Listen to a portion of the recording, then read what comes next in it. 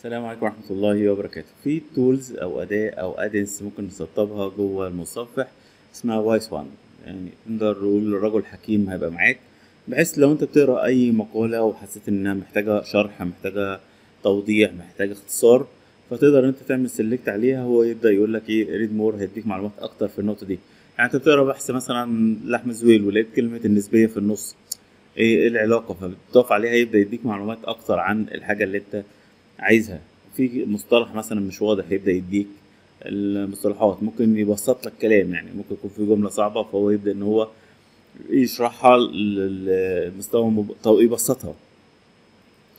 ممكن يديك بيعيد صياغتها بحيث إن أنت تفهمها بشكل أقوى.